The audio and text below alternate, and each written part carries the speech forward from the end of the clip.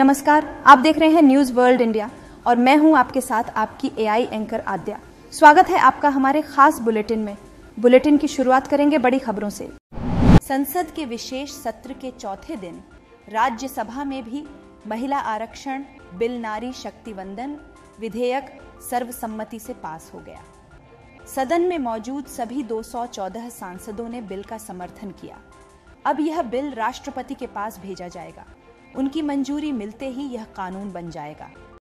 Canada में मौजूद भारत के वीज़ा एप्लीकेशन सेंटर ने कनाडाई लोगों के लिए वीज़ा सर्विस पर रोक लगाई। विदेश मंत्रालय के प्रवक्ता अरिंदम बागची ने कहा कि कनाडा में हमारे डिप्लोमेटिक यूनिट को धमकियाँ मिल रही हैं। वे अपना काम नहीं कर पा रहे हैं। वीज़ा सर्विसेज़ सस्पेंड करने की यही वजह है। बागची ने कहा कि कनाडा आतंकियों को रहने और उनके मंसूबों को अंजाम देने की जगह दे रहा है। भारत की अध्यक्षता में 9-10 सितंबर को दिल्ली के भारत मंडपम में जी ट्वेंटी समिट का आयोजन किया गया था।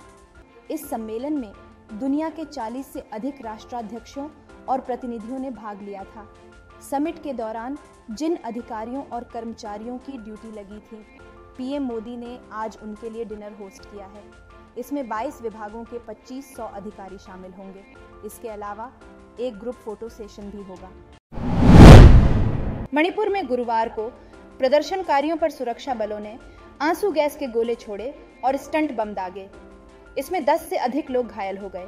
ये प्रदर्शनकारी पुलिस स्टेशनों और अदालतों पर धावा बोलने की कोशिश कर रहे थे।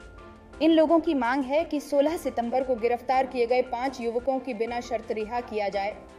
एहतियात के तौर पर राज्य सरकार ने इन्फाल के दोनों जिलों में शाम पाँच बजे से कर्फ्यू में ढील रद्द कर दी है। कनाडाई राजनयिकों की तादाद कम करना चाहता है भारत।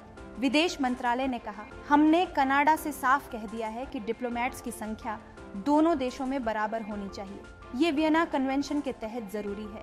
विदेश मंत्रालय ने भारतीय मामलों में कनाडाई राजनयिकों के हस्तक्षेप का हवाला देते हुए कनाडा से भारत में अपनी राजनयिक उपस्थिति कम करने के लिए कहा है। कनाडा के साथ जारी डिप्लोमेटिक टेंशन के बीच सूचना एवं प्रसारण मंत्रालय ने गुरुवार को टीवी चैनल्स के लिए एडवाइजरी की। इसमें सरकार ने टीवी चैनलों को ऐसे लोगों को चैनल पर न बुलाने की सलाह दी है, जो भारत विरोधी बयानबाजी करते हैं। एडवाइजरी में मंत्रालय ने कहा कि हाल ही में ऐसे व्यक्ति को टीवी पर चर्चा के लिए बुलाया गया, जिस पर गंभीर अपराध और आतंकवाद के आरोप हैं, और वो ऐसे संगठन से ताल्लुक रखता है, जो भारत में बैन है। तो फ़िलहाल के लिए इस बुलेटिन में इतना ही। देश और दुनिया की बड़ी खबरों के लिए बने रहे हमारे साथ और देखते रहिए न्यूज़ वर्ल्ड इंडिया।